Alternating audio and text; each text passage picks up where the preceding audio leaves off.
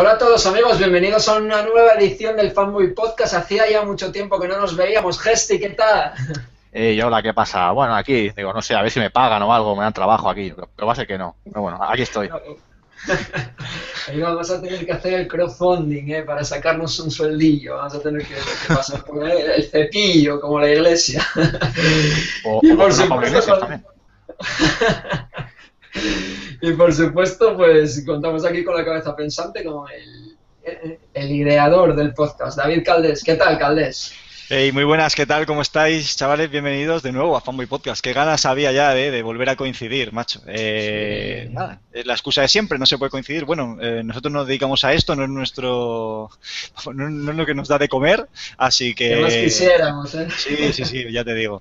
Sin embargo, pues bueno, ha podido ser, ha podido ser, nos hemos podido juntar unos cuantos. Sin embargo, nos falta alguien, nos falta alguien especial, Marcos. estamos en falta ahí a Jorge. Jorge, te dedicamos a ti este programa y ojito, ¿eh?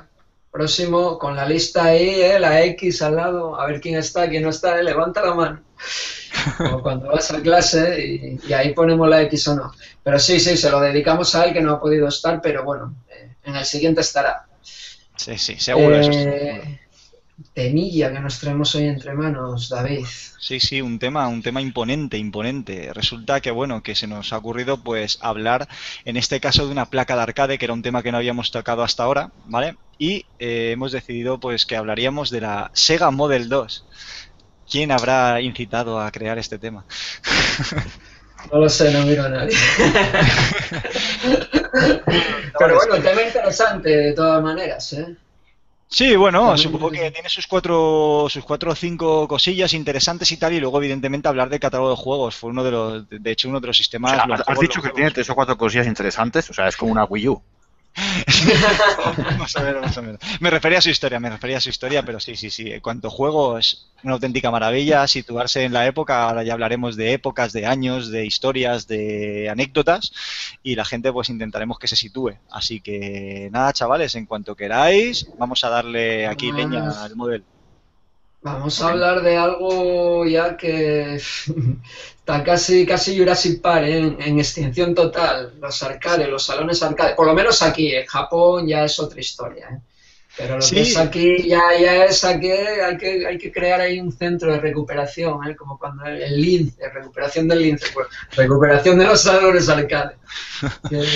Sí, pero igualmente siempre encuentras algún salón arcade perdido por los barrios de Bosa eh, calidad y tal. Que siempre el típico Sega, eh, Sega Rally o lo que sea, o que está, digamos, desde que Rita Barbera está en Valencia o desde que existen en España. No sé. Bueno. Pues sí, como, como dice Gesti, es dentro de los pocos salones recreativos que pueden quedar en pie a día de hoy o incluso salas de juegos de estas de, que tienen ahí lo de la, yo qué sé cómo decirte, lo de las ruletillas y todo eso, ¿vale? Eh, se estila pues, pues el tener quizá algún, algún método de entretenimiento como sea un arcade de este estilo y como son muy llamativas, las arcades sí que es verdad que se conservan muy bien y eh, las pocas que, que quedan en salones recreativos las, las he llegado a ver lo típico, Sega Rallys, Daytonas, etcétera. Pero bueno, eh, es lo poco, lo poco que va quedando de, aquella maravillosa época del arcade. Sí, sí, sí, sí. También comentar lo, caro, lo caro que, que, era echar una partida a estas máquinas. Estando acostumbrados a los 5 duros y tal, estábamos hablando de, de, de 100 pesetas, incluso en algunos sitios a 200 y luego al cambio al euro. Era mucha pasta y cómo nos engañaron con el cambio al euro, ¿eh? es verdad que igual por un euro deberían de dar más de una partida, posiblemente, ¿eh? Pues sí. No estoy seguro ahora, no pongo la mano en el fuego, pero posiblemente sí, pero nos engañaron ahí, ¿eh? esa traslación de euro 20 duros, ¿eh? muy mucho, tío, muy mucho, en serio, una, una barbaridad, tío. Que vaya a cambio, ahora que lo piensas, tío, es que son 200 pelas casi, ¿eh? Eso, efectivamente, casi el doble, tío. Y los citas pelas para jugar apenas 10 minutos o 15 minutos sería muy bueno, ¿no? O media hora si te pasas el juego. Vamos, que eso es un sí, Sí, porque de hecho veremos que, los juegos, los típicos de volante y tal, no eran nada fáciles, pero nada, ¿eh? O sea, estaban pensados de hecho para, para dejarte ahí la pasta pero de, todas, todas. Es que no había forma. El tiempo estaba eh, calculado al milímetro. Como no cogieras las curvas como toca en algún caso, se acabó la partida. Ya te podías dar por muerto allí. O sea, ahí tienes que conducir como si te persiguiera la Guardia Civil, básicamente. Casi más la, justificación de la pasta venía más que por el juego en sí, por el tema de bueno, la experiencia esa de meterte ahí en el, con el volante, sentarte ahí en plan rollo coche, rollo tal. Casi más venía, yo creo, por eso que por lo que es eh, el juego en sí. Porque bueno, el juego en sí no es que sean juegos malos, pero entendedme que es lo que decís vosotros, que durabas, al final durabas cuatro, cuatro segundos y hmm. claro, lo que venía a ser el, sí, un poco, ¿eh? No, creo con el man de los dos. Entonces también la lógica causal de, por qué la gente juega a este tipo de máquinas recreativas de, conducción de coches de velocidad era, era, básicamente porque el, tema de escapar de la policía y cosas de estas, ¿no? En España también ser, ¿no? Se están practicando, ¿no? por lo visto, por lo visto. Pero bueno, la, yo creo que, la causa principal de, echar una partida a este tipo de arcades eh, es la, la, estructura que manejaban. Es decir, es que tú veías el arcade por fuera y era impresionante. Era como subirte a un coche de verdad. O sea, te sentabas eh, en el asiento, algunas incluso conservaban su cinturón y demás. Eh, tenían motores eh, hidráulicos, me parece, y hacían incluso los baches y demás. El asiento se movía tal cual tú notabas los baches en el videojuego. Era algo impresionante. Era una sensación bestial para el año en el que era, pero, pero total. O sea, aquello yo, la, la cara, la primera vez que probé aquello fue impresionante. Bueno, la cara de la gente, evidentemente, más de lo mismo. Aquello era impresionante. Y también el detalle que tenían cenicero, importante eso, ¿eh? muy, importante, muy importante. para apoyar. es verdad, es, es, es algo que, ¿eh? que, se, que se fue perdiendo también porque, claro, la prohibición del tabaco y tal. pero bueno, máquinas, ojo, ¿eh? máquinas costosas de, de, echar pasta para jugar, pero máquinas costosas también de adquirir, ¿eh? Estas máquinas, pillar un mueble original de esto... No era, no era ninguna tontería. No, de hecho, yo uno de los sueños de mi vida es a día de hoy adquirir un, mueble del Daytona USA. Para mí sería, sería lo máximo, sería la cumbre de, mi coleccionismo. O sea, es aquello es increíble máquina. Es una máquina que guardo un montón de, buenos recuerdos sobre ella. Posiblemente sea una de las, junto a Street Fighter, una de las máquinas en las que más dinero haya echado en toda mi vida, sin duda. Y ahora el preguntón total. ¿Vosotros pensáis que, os pregunto los dos, que esta gente amortizaría la compra de una máquina de estas. Eh, vale, sí, vale 20 duros, todo lo que tú quieras, pero joder, es que estamos hablando de muchísima pasta. Sí, pero es lo que te digo, ¿dónde encuentras algo parecido? Es que no hay nada parecido. En la época ver esto era, era lo máximo. Es que solo por el hecho de, de, de, o sea, sentir la experiencia echabas la partida, ya no por el juego en sí, sino por el hecho incluso de poder sentarte en un sillón y que aquello se moviera y que pareciera que estabas dentro de un videojuego. Date cuenta, en, en la época que, que, que, estamos, estamos hablando a partir del año 93 en Japón, aquello, vamos, es que era lo, lo, lo máximo. Yo creo que a nivel arcade, bueno, Sega siempre ha sido pionera en todo este tipo de cosas, pues en el año 86 ya estamos hablando de afterburners y vehículos como el del Outrun o, o la moto del Hanon, pero esto era un paso más, esto era un paso más, esto era movimiento real, realista a nivel de videojuego. Pero bueno, pues nada, si os parece y si no tenéis nada más que añadir, porque nos estamos yendo por los cerros de Úbeda, vamos directamente a lo que a lo que sería el podcast. sí, sí, sí. entonces, la, lógica mía impresionante me dice, o sea, eso es el el factor para atraer a la gente de antaño, ¿no? O sea, la, la cabina espectacular que no podías hacer de otro, de otro modo, ¿no? Porque ya creo las consolas que había, bueno, que podías tener en tu casa y tal, o pues eh, no era equivalente, ¿no? O sea, ahora el factor atrayente, ¿cuál sería hoy en día para que la gente fuera? Que hubiera un, Starbucks ahí, yo qué sé, eh, que hubiera, una, eh, yo qué sé, una tienda que te vendiese un móvil Samsung, no sé. O... algo, algo, algo evidentemente sí. Pero yo sí que os digo que yo creo que a día de hoy sigue impresionando todo aquello. ¿eh? En los pocos salones recreativos que quedan, yo sigo viendo a mucha gente, a mucha gente montada en este tipo de arcades. Y estos y los de y los de Naomi también, los de los de la equiparación con, con Dreamcast, tío, yo que sé, Sí, F355, todo esto se conserva muy bien en los pocos salones recreativos que quedan porque siguen siendo máquinas muy espectaculares y yo casi siempre suelo ver gente jugar sí, sí. Este, estas máquinas. Estamos vi, este verano muchos, muchos, muchos salones arcade en Estados Unidos, vi unos cuantos y mucha gente jugando, eso me llamó a mí la atención muchísimo pero muchísima gente jugando, tío. pues imagínate en Japón. Me pareció raro, máquinas de estas de Star Wars, de tal, bueno, máquinas de estas de, como las que vamos a hablar hoy, de muebles grandes y tal, y aparte de clásicos también, solían tener bueno, los típicos pac y Tetris y rollos de estos, y mucha gente jugando, y dices tú, joder, a lo mejor podía haber un friki o dos, no, no, no, petados, ¿eh? Sí, sí, una, cosa, una cosa que me llamó muchísimo la atención. Pero imagino que cuando fuiste a Estados Unidos serían lugares muy concretos, ¿no? Que estaban las máquinas. O sea, no estaba en cada bar una máquina, ¿o sí? Sí, bueno, no, hay, hay en bares también, en bares sí que encontré también máquinas. De hecho, yo jugué en alguna, recuerdo en Nueva York, ahí una, comiendo un perrito caliente guarro de esos que suelen comer ellos jugando a un, a un Galaxian.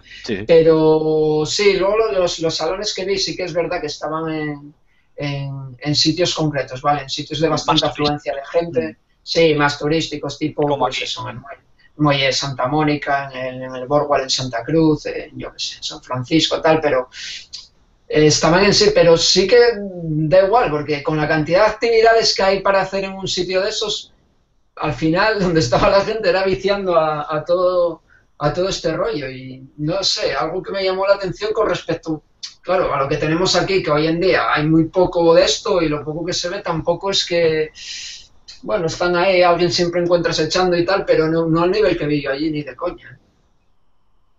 Pues sí, pues sí. Pues nada, se notaba que teníamos ganas de podcast, ¿eh? Joder, macho, lo que estamos largando aquí. Vamos, Vamos a ver si empezamos el podcast, que a lo mejor hay más... dale, dale, cuéntanos algo de la historia. Luego ya contamos nuestra vida. Bueno, vamos a empezar. Venga, eh, placa Sega Model 2, evidentemente, por Sega, ¿vale? Eh, ya sabéis lo que hay. Es la reina de los arcades. Por otro lado, placa Model 2 nace en Japón en el 1993, para que nos situemos, ¿vale? 1993, señores, y fue una de las más longevas, puesto que se crearon juegos hasta aproximadamente 1998, cinco años, ¿vale? Tuvo de, duración, más luego, evidentemente, el hecho de que siga habiendo salones recreativos que la sigan manteniendo, evidentemente, sin juegos nuevos, ¿no? ¿Cuál era la finalidad de esta placa? Lo principal, era la recreación de gráficos en tres dimensiones a partir de polígonos. Era algo en lo que, en lo que Sega creía, creía bastante. Ellos, como he comentado en alguna que otra ocasión, y bajo mi punto de vista, es una compañía pionera en la innovación. Y siempre, siempre, siempre quería dar un paso más. Ellos eh, siempre persiguieron el 3D desde sus inicios, ¿vale? Con el Sub Rock 3D de, del año, vete a saber cuándo, de los primeros juegos. De hecho, fue el primer juego 3D de la historia. Eh, estaban muy metidos con el tema este de querer llevar las tres dimensiones. Entonces eh, dijeron, la única forma en la que concebimos esto a día de hoy, según la tecnología que tenemos, es con los gráficos poligonales. Perfecto. Introdujeron un concepto nuevo llamado mapeado de textura poligonal. ¿Vale? El mapeado de texturas, explicado un poco así a lo burro, es como que para que parezca un poco más realista, ¿vale? Digamos que se le da forma o se medio colorea a los polígonos, ¿vale? Se le da forma. O sea, por ejemplo, tú ves un Doom y quieres ver una pared del Doom, pues podrían ponerte, eh, aquellos son polígonos y, y es un cuadrado, ¿vale? Un conjunto de cuadrados o de lo que sea. Entonces lo van rellenando de texturas para que quede como si fuera una pared con ladrillos, por ejemplo. Se le da vitalidad, ¿no? Por llamarlo de alguna manera. Esto explicado muy, muy bestia, ¿eh? Luego, eh, vale, vamos a ver. Este, este sistema fue desarrollado por el grupo AM2, ¿vale? Que es el diseñador o el jefe del equipo, era Yu Suzuki, ¿vale? A partir de ahora podemos, para reducir letras y tal, podemos llamarle Dios directamente y así pues nos ahorramos, tenemos un nombre propio y de paso pues ahorramos, ahorramos letras. Qué, triste la historia de Sega con este hombre. Justamente crucificado, ¿eh?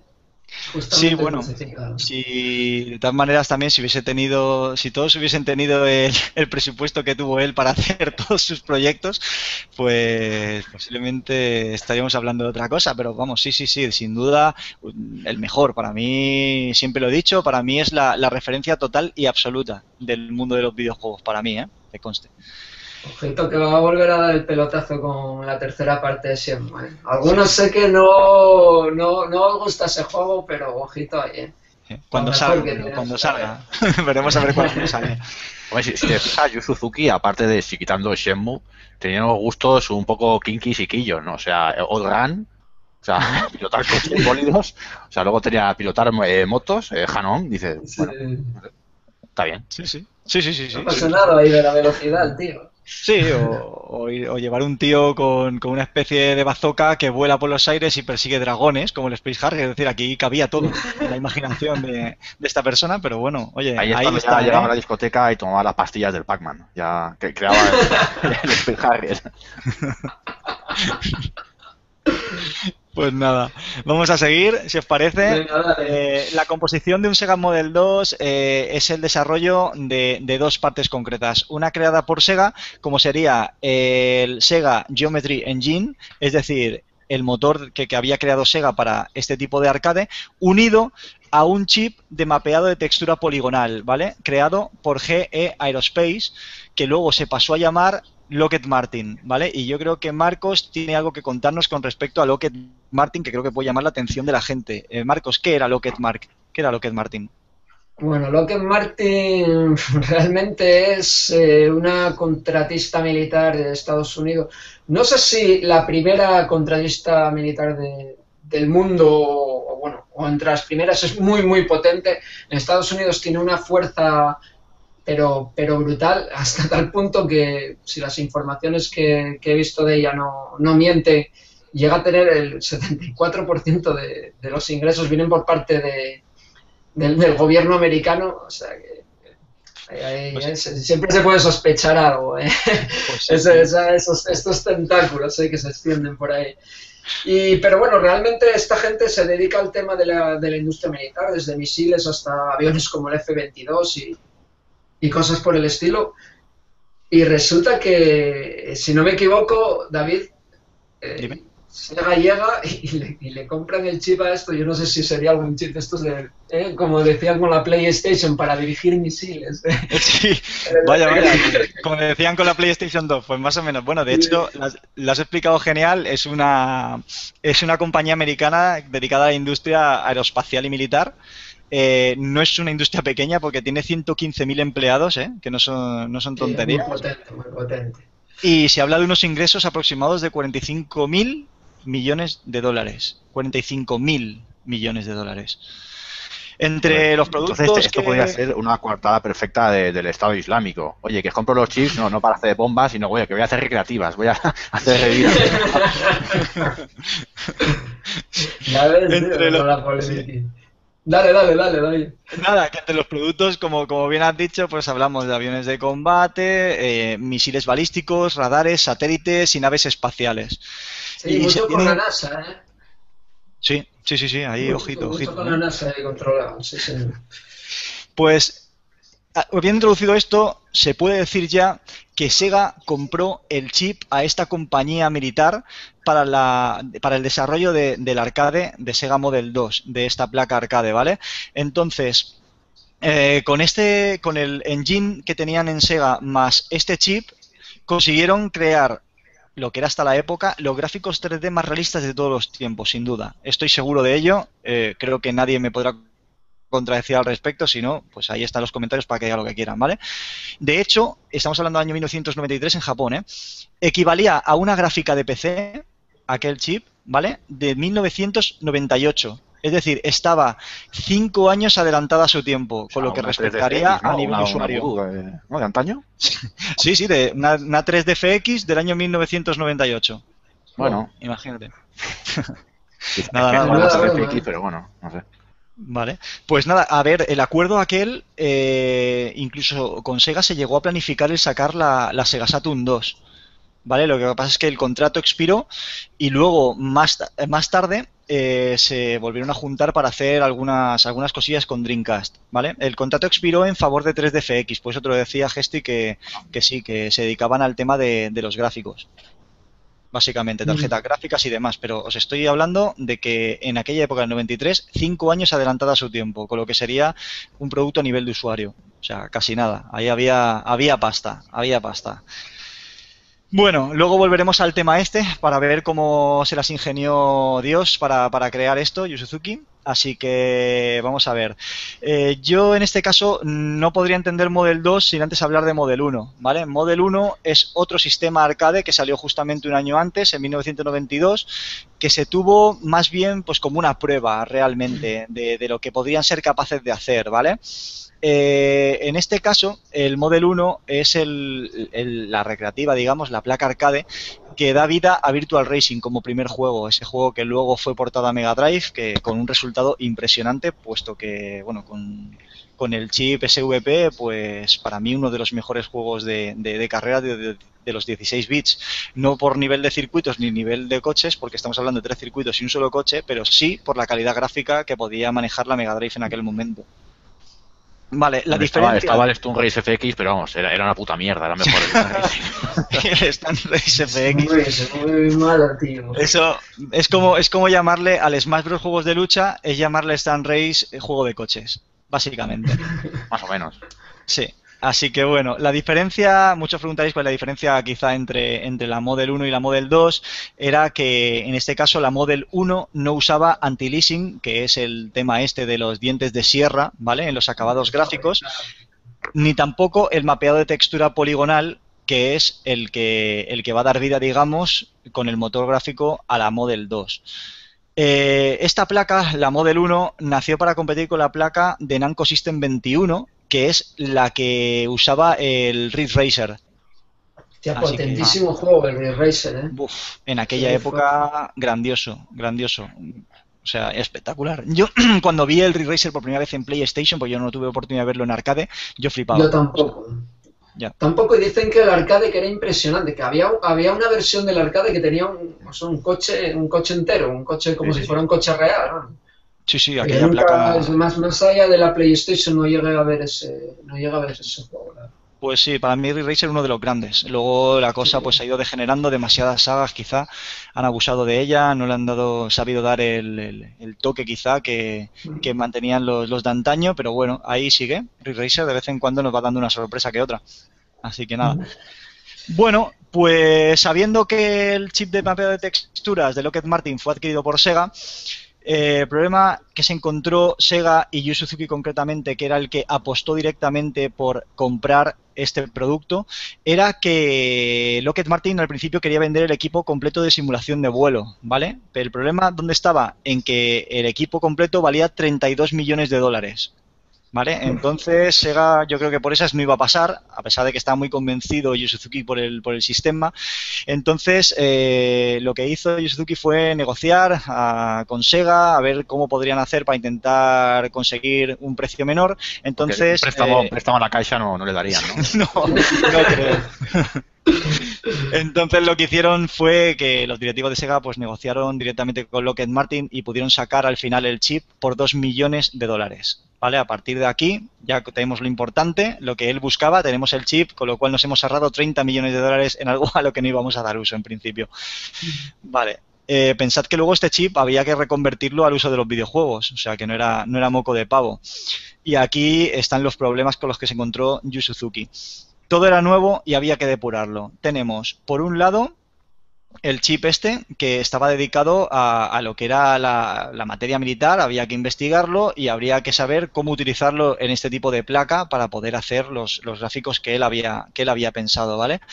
Y pasamos eh, de un cambio de procesador eh, muy cercano en el tiempo, tenemos el NEC de la Model 1, y por otro lado tenemos el Intel de Model 2. Entonces hay un salto ahí cualitativo en el que también les viene todo de nuevas. Aparte, Intel, por lo que tengo entendido, es americana, con lo que, por lo cual, eh, pues ahí habría, me imagino, su rencilla y sus cosas, porque siempre sabéis el problema que ha habido en Sega con el tema del, del material americano y el japonés. Siempre ha habido rencillas al respecto. Así que bueno, pero al final todo salió bien, como vamos a ver a continuación. fíjate, si había rencillas que le tiraron una bomba, nuclear, o sea... tu gesti, tío.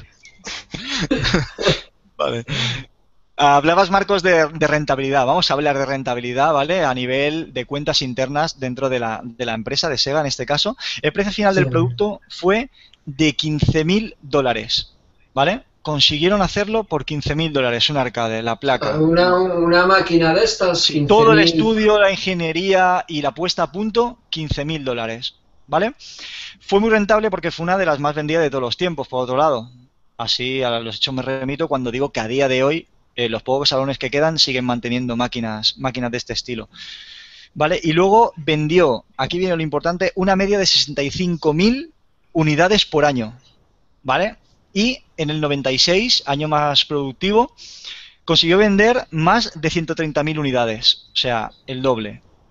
Fue muy muy rentable para Sega, además de los ports que realizaron para consola, puesto que estamos hablando que las conversiones de Model 2 en su gran mayoría salieron para Sega Saturn, ¿vale? O sea, no era solo lo que generaban a nivel de industria de arcade, sino que también esos juegos en algunos casos salían para Sega Saturn en su gran mayoría y también pues eran vendidos en el mercado, ¿vale? Para que cada uno lo pudiera tener en su casa. Era de ahí que digamos... de, globo de sonda, ¿no? Para luego pillar, o sea, ves el, eh, las creativas en, tu sala arcade, o sea, se ponen los dientes largos y luego te compras la Saturn o lo que sea, ¿no?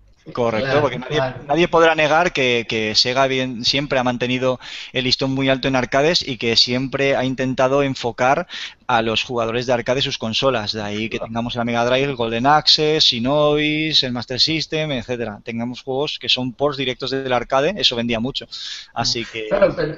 pero, yo, David, te, quería hacer aquí una pregunta antes de que, de que sigas. Yo lo que me refería antes era más, no, más que nada la rentabilidad que sacaba Sega al tema, sino al tío, al propietario del salón, ¿no? Estamos hablando de una máquina, a lo mejor dos o tres millones de pelas, de, la época, de la época, y vale que tú la pones a 20 duros, todo lo que tú quieras.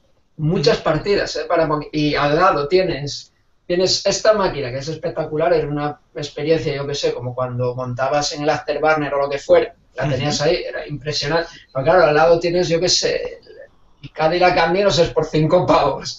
Entonces, sabiendo tú un poco lo que vas a durar en cada una, como que te tira más, preferir, preferiría más jugar al Afterburner, ¿no? Pero eh, la pasta era la que había y al final acabas echando un Entonces, yo no sé qué, qué rentabilidad realmente los salones los salones a, estas máquinas, porque claro, la, adquisición, y, y me consta que había salones en aquella época que no tenían uno o dos muebles de estos, tenían mogollón de muebles, incluso estos interconectados y que eso debía ser un, no sé, tío, un, desembolso, pero, pero impresionante.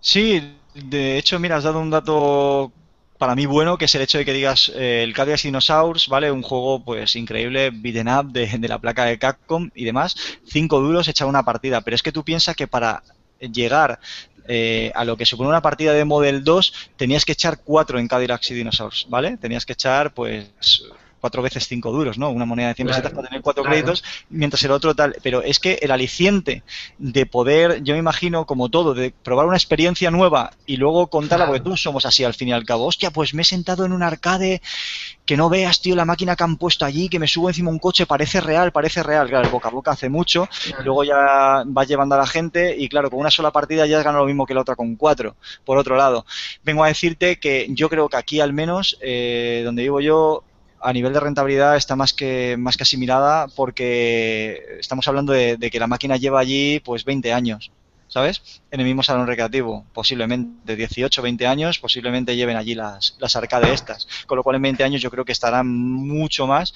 que pagadas y mucho más que rentabilizadas seguro. Yo es que te prometo que no hay día que pase, eh, siempre que está abierto el salón aquel, que no haya alguien jugando a un Sega Rally. Eh, sería, sería, muy sospechoso, vale, la, partida de la cara, pero si hubieran puesto una rentija de billetes de 500 euros, o yo para blanquear dinero, hubiera sido sospechoso. así es, así es. bueno, una cosa sí que está clara, ¿eh? la verdad es que, a ver, eh, lo, acaba de decir ahora que había salones que tenían muchísimas máquinas de estas. Yo quiero pensar que no serían tontos de comprarlas por comprarlas. Digo yo que sacarían su rentabilidad, porque si no, con una ibas que las cardías, ¿no? yo qué sé, yo vi salones de estos impresionantes, no aquí porque eso aquí no existía ni de coña, a lo mejor yendo a Barcelona o por ahí, salones de dos pisos y cosas así que, tenía yo visto si había mogollón de máquinas de estos, y era un despliegue impresionante. Y allí más pasta que en Fornos, me cago en todo. Sí, y es que estamos hablando únicamente casi siempre de Daytona y Sega Rally, típico juego de coches que es el que te llama la atención y el que solían tener todos, pero bueno, luego hablaremos de, de otros de otros juegos también impresionantes, todos con su mueble y su, digamos, su plataforma de juego. No siempre era un stick, luego lo, lo miraremos, luego hablaremos de ello, ¿vale? Eh, pues si os parece, vamos a quitarnos el coñazo de las especificaciones técnicas de encima, que siempre, siempre es interesante saber, pero bueno, por otro lado, cada uno, pues eso, saque sus conclusiones. Eh, estamos hablando del año 1993, acordaros. Un procesador CPU Intel i960 a 25 MHz de 32 bits con tecnología RISC. ¿Vale?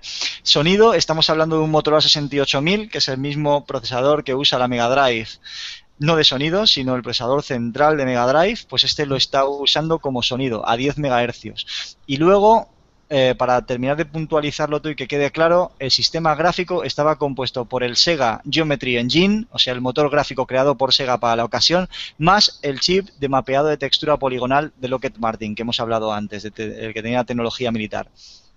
¿Vale? Era capaz de mover, porque luego veremos que hay varias placas, ahora iremos a ello, ¿vale? Era capaz, la placa mm, básica, la Model 2 básica, era capaz de mover 300.000 polígonos por segundo. Porque aquí, acordado de la guerra de los polígonos, aquello era, vamos, eh, superaba un poco los polígonos anterior y ya, vamos, era, era poco menos que, la polla en vinagre, ¿sabes? Así que nada. De Model 2, que se conozcan, hay tres revisiones. Ahora os las comento. Por un lado estaba la Model 2 básica, cuyos juegos eran principalmente el Daytona USA y el Virtua Cop. Y luego, por otro lado, ya eh, empezaban a evolucionar, digamos, las placas, empezaban a, a implementar un poco. Está el modelo 2A CRX, que mejoraba el sonido aumentando el rendimiento del Motorola 68000, ¿vale? En este caso, pues estamos hablando de juegos como el Virtua Fighter 2, el Dynamite Cop, el Max TT o el Sega Rally, ¿vale? Luego tenemos el Model 2B, que mejoraba el motor geométrico que venía de serie. En este caso estamos hablando pues del Fighting Vipers, por ejemplo, del Last Bronx, y esto sí que es verdad que es impresionante la velocidad con la que se mueven estos juegos de lucha. O sea, yo no había visto nada parecido Nunca, nunca. Tenéis que ver a día de hoy un Last Bronx o un Fighting Vipers moviéndose. Es algo, algo increíble, ¿vale? Y por último, la Model 2C, que mejoraba aún más el chipset, eh, el chipset de la GPU, ¿vale? Juegos eh, como por ejemplo el Sega Turning Car, el House of the Dead o el Over Ref, el juego de coches. Y aquí vamos a dar por concluida la, parte técnica, vamos a hablar un poco más de, lo que sería la parte de la experiencia y vamos a hablar de los juegos. Si os parece, pues vamos rotando un poco y vamos hablando de juegos que nos pudieran impresionar y el por qué, ¿vale? Así que, Marcos, te dejo en el papel de selector del juego, del primero de todos, así que... Para yo. ¿En cuál las hablas? Pues voy a hablar de Indianapolis 500. A mí me gusta mucho, aunque yo no soy aficionado al motor ni ver la Fórmula 1. Te tira lo americano. sí que me gustan los juegos de coche, yo no sé por qué. es una, una, pijada, pero es así. Me gustan mucho los juegos de, sobre todo los arcades, ¿eh? de, bueno, de coches, motos, de motos de agua, de todo que sea velocidad. Aunque luego no me guste en la realidad. Y es verdad que aquí hay muchos juegos muy buenos hay muchos juegos muy buenos que seguro que saldrán aquí alguno a relucir y si no los sacaré yo en lo que respecta a temas de velocidad, ¿vale? Pero este Indianapolis 500 me, no era un juego que no conocía en absoluto, lo, acabo de conocer ahora para, para el tema del, podcast y me, se me han caído los huevos al suelo. que este está muy bien hecho, la velocidad es pero, pero criminal, la sensación de velocidad que tiene, además esa perspectiva viéndose, bueno, la típica que se ven las ruedas así, como que estuvieras metido en el coche, ya no tan pachanguero como el, como el Daytona ni nada, aquí tienes la perspectiva esa de estar ahí metido en el Fórmula 1, ¿no? Dándole matraca y no sé, es un juego que de verdad, no, a ver, es un arcade simple, no tienen tampoco ninguna historia, porque ya sabéis, son, son máquinas que no hay que, no hay que estudiar. Pero entre todos ellos, la solidez bastante potente que tiene el motor gráfico. No olvidemos que, bueno, en esta época lo normal es que tengan popping. Aquí hay popping también, esto que te aparecen los gráficos eh, de sopetón, ¿no? En pantalla. Aquí hay, pero yo creo que menos que en otros, que en otros juegos del estilo. Y, tiene su tiene su, su virtud en el tema de que, joder, a la velocidad que se mueve eso, tan brutal, o por lo menos la sensación de velocidad que da, que parece que, joder, que, el popping pues está bastante disimulado, ¿no? Sí, No sé, un, gran juego. Yo no sé si, tuviste la oportunidad de conocer este o, de darlo, aunque fuera así, a través de la emulación. Sí, Básicamente yo, lo que veo del juego este es, es, un Virtual Racing mejorado, ¿no? Actualizado, ¿no? O sea, es como si hubiera, hubiera ido el, la carrocería al chapista y, lo hubieran hecho bien, ¿no? Pues Además, tiene, tiene, solo dos años, ¿eh, David? Más que el Gesti, dos años más de. O sea, estamos hablando del 93 la placa. Son juegos de, completamente del, 95, que no estamos hablando de la última época ya que. Y no sé, me parece un salto muy potente con respecto al, al resto de juegos de coches, ¿eh? Sí, sí, a mí me parece, mm, en serio, es impresionante. Además, eh, me alegro que has elegido este. De hecho, no habíamos planeado nada. Aquí cada uno iba soltando un juego, iba hablando. Y me ha impresionado que, eligieras este porque eh, la sensación de grandiosidad del juego es lo que más me, llama la atención. Es decir, me recuerda mucho, como ha dicho Gesti también, al, a lo que es el Virtual Racing cuando estás en la cámara interior. Eh, en, el que, en el que es verdad, estás completamente envuelto en lo que te rodea. una sensación de que todo es grande. El coche es grande, el paisaje es grande, es enorme con una sensación de, velocidad increíble y evidentemente a pesar del popping pues sí que tiene mm, texturas muy bien muy bien acabadas bajo mi punto de vista me parece un juego bastante realista y de hecho eh, remarcar, estamos hablando del año 95. Es que en tu casa estabas jugando eh, al, al Ristar en el año 95, es que no estabas jugando a otra cosa. ¿Sabes qué te digo? Quizá empezabas a jugar, eh, si, si eras japonés, ¿sabes? Estaría jugando al Ridge Racer a lo mejor, pero vamos, es que ni por asomo con la calidad gráfica que posee, que posee ese tipo de juegos. Además, yo creo que eh, mejora también mucho la, lo que es el control con respecto a, un juego como Daytona. No sé, se mueve, se mueve bastante bien el, Fórmula 1 en lo que es el manejo del control de izquierda a derecha. Supongo que esto mejorará mucho la experiencia con el volante original en la máquina y tal, que con respecto a moverlo lógicamente con unos cursores mierdosos, pero vamos, que se mueve muy bien y muestra también muchos coches en pantalla, ¿eh? ojito, que, eh, que, eso es también otra virtud a tener en cuenta y, y en todo momento nunca decae, nunca decae el frame rate. ¿eh? Yo de hecho nunca he encontrado un juego de Model 2 que algunos los conocía por el arcade, otros los he conocido por emulación. Eh, nunca he encontrado un juego que, ralentice, digamos, entre comillas. Lo del efecto popping sí que lo he visto. Por ejemplo, hay un juego que clama al cielo, que es el Sky Target, que se es descarado. O sea, estamos hablando de un afterburner de, de, aviones en el que a medida que van apareciendo las montañas y el cielo sí que es verdad que se va viendo algún que otro defecto. Pero bueno, es que intentar igualar un, un afterburner es prácticamente imposible.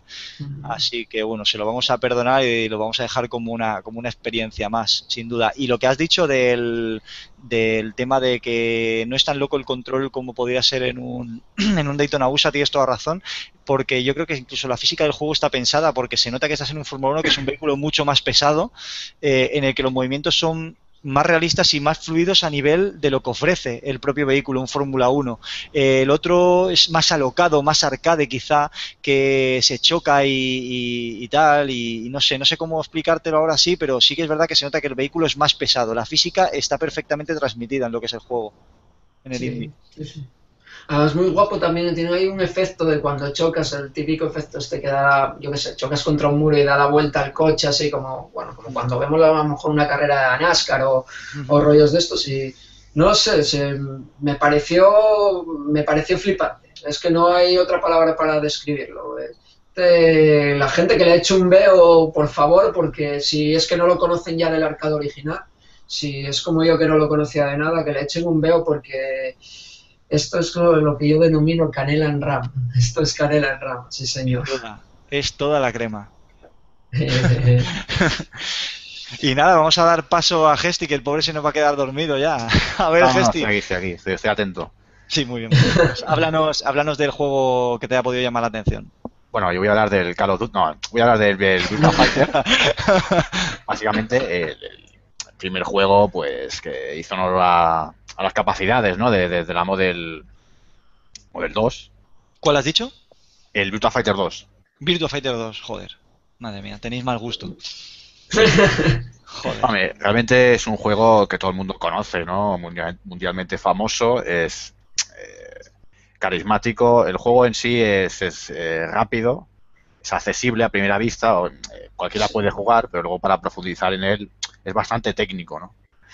Los movimientos son bastante realistas para la época, o sea, flipaba, ¿no? No sé. en cuanto a mecánicas de juego, pues bastante simple, como he dicho, pero a, pero a la vez eh, tiene la capacidad o el factor de profundizar, ¿no? O sea, tú porque juegues y ya ganes unas partidas, eso no quiere decir que vayas a poder ganar a, los pros, ¿no? Te, te, van a destrozar, te van a violar. Tiene un factor táctico, ¿no? Sí. Y bueno, mecánica de juego, pues básicamente puño, patada y guardia, no tiene más, tres botones, que parece que estaban dispuestos en las máquinas eh, recreativas, ¿no? En la, la, marquesina, como se diga eso, ¿no? En forma así como los dedos de la mano, ¿no? O sea, el puño, patada y la guardia, así tres botones, así. Ajá. Eh, personaje, no sé si me acuerdo, tenía como 8 o 10 o algo así, creo. Y bueno, gráficamente, pues llamaba la, llamaba la atención, ¿no? Eh, obviamente eran eh, modelos poligonales muy primigenios o toscos, pero bueno, parecía que le había cortado un carpintero, yo que sé que no tenía tamaña. También se parecía al, hombre que presenta Intereconomía, ¿no? Ese con esa mandíbula así que parece un ¿no? parece Bangal, pues es bastante parecido. de Intereconomía, los de Virtua Fighter. Bueno, yo lo único que tengo que añadir al respecto es eso. Bueno, yo noto gran diferencia entre, es evidente, el 1 y el 2 en, todas las sagas nunca suele ser lo mismo, ¿no?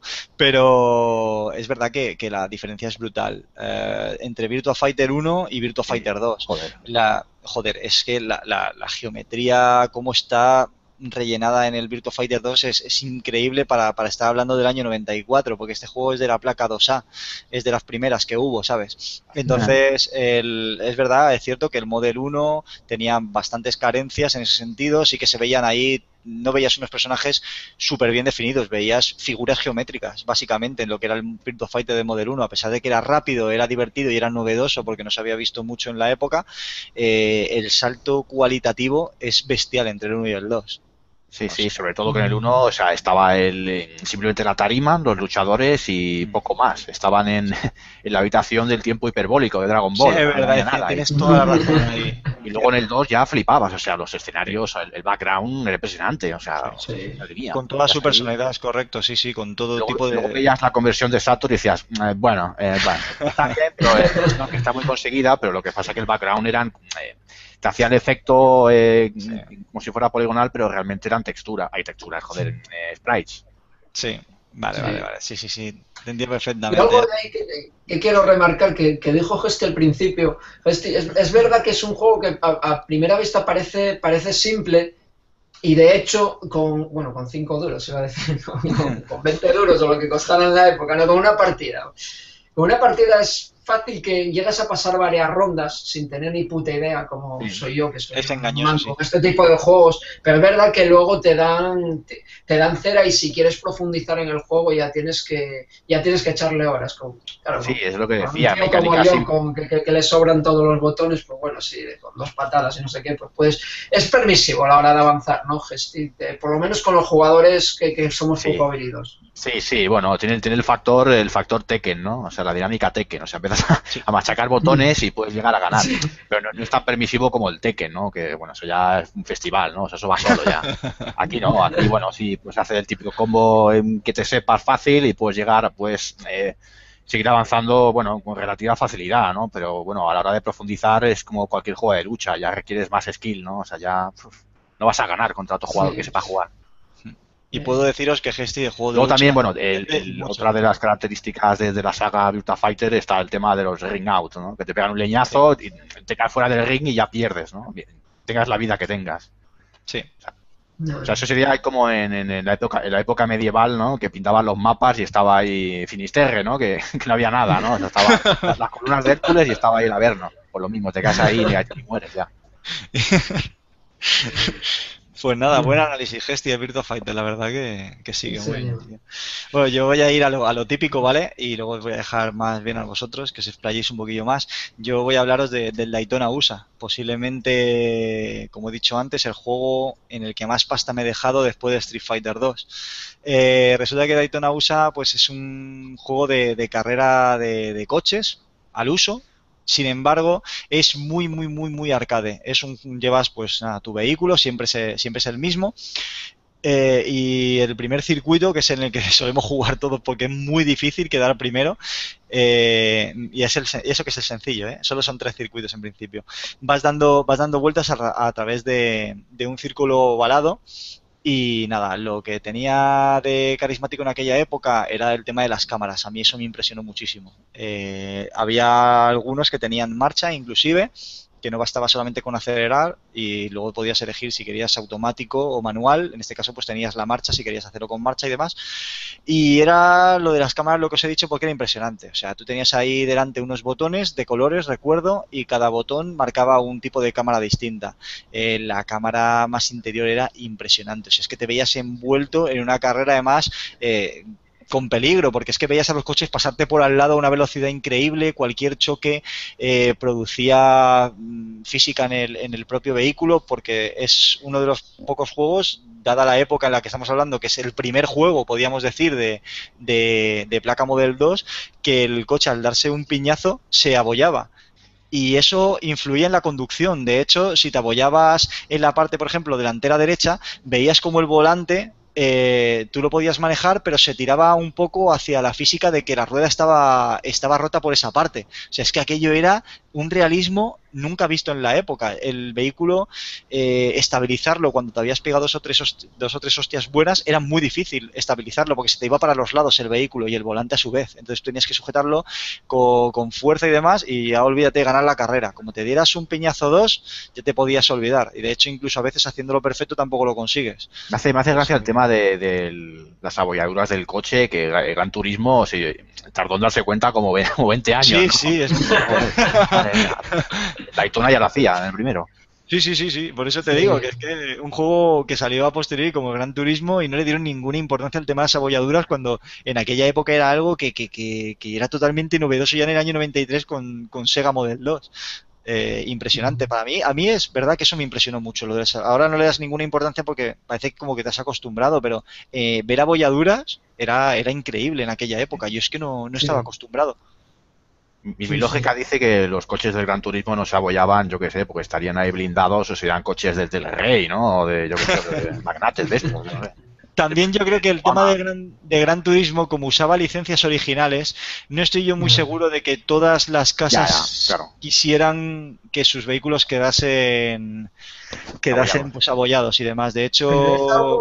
Ahí, David, ahí es algo que no entiendo tampoco porque desde el primer Forza sí que hubo sí que hubo daños en los vehículos ¿eh? y joder y el Forza se caracteriza también por, por, por usar licencia y sin embargo Gran Turismo resistía con sus coches modo en modo tanque no, hombre, evidentemente, evidentemente todo evoluciona con el tiempo, lo que tú has comentado, ya las licencias pues ya accedieron posiblemente al tema de, lo, de las abolladuras y demás, pero es lo mismo que si nos remontamos al, al Pro Evolution Soccer.